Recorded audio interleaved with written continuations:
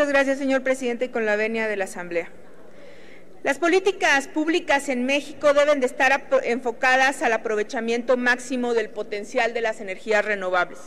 con las que cuenta nuestro país. Es necesario, pues, disminuir y evitar el impacto ambiental, económico y social en el desarrollo de proyectos de generación energética. Con el contenido en el dictamen de la Ley de Transición Energética, sin embargo, no se genera un impulso para lograr que el proceso de transformación energética se acelere y se cubra con fuentes alternativas con la finalidad de evitar la degradación ambiental que sufre actualmente el mundo entero. México está muy, muy lejos de ser el ejemplo latinoamericano de medidas cautelares con principios ambientalistas que promuevan el derecho de toda persona a vivir en medio ambiente adecuado para su desarrollo, salud y bienestar. La manera en que podemos combatir el cambio climático será a través de leyes que generan obligación y responsabilidad por parte del Estado, pero también de los particulares. El Estado, porque es el encargado de lograr cambios reales y tangibles dentro del proyecto de transición energética, así como por parte de los generadores de energía eléctrica, quienes, bajo un esquema de obligaciones e incentivos, actúan en consecuencia de una responsabilidad vigilada. Mientras no existan compromisos que impliquen la acción firme del Estado, no se podrá avanzar y menos aunque el sector energético ha cambiado, permitiendo la entrada de participantes privados en áreas restringidas sin obligaciones mayores. Ya existen antecedentes sobre los temas que abarca esta ley en las disposiciones que se derogarían con la aprobación de este dictamen, los cuales han sido simples códigos de recomendaciones que no han sido fructíferos para cumplir con los fines establecidos, dejando únicamente alrededor del 15% de la generación eléctrica provenientes de fuentes primarias de energía no fósil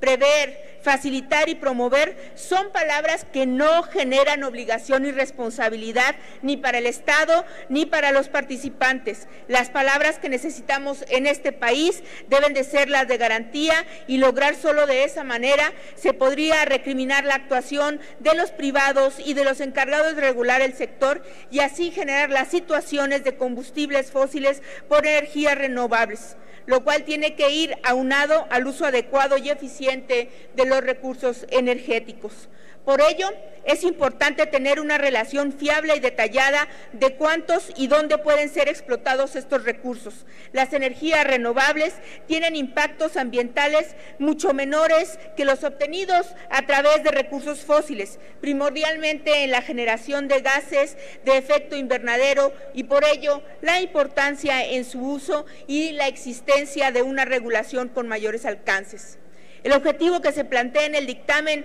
que crea esta nueva ley, el cual se menciona en la reducción de emisiones de gases efecto invernadero y la promoción de fuentes limpias para generar electricidad, queda a la deriva ya que busca reducir el impacto ambiental, pero no a costa de la eficiencia económica del sistema eléctrico nacional, lo cual es evidente que resultaría en muchos de los casos en una contradicción. Sin embargo, la adenda que se ha anunciado ni siquiera ha sido del conocimiento, al menos no de la bancada del Partido del Trabajo, y no sabemos en este momento si estará en nuestras curules y si le dará el tiempo a todos los legisladores para saber exactamente las adecuaciones que se han presentado frente a este dictamen.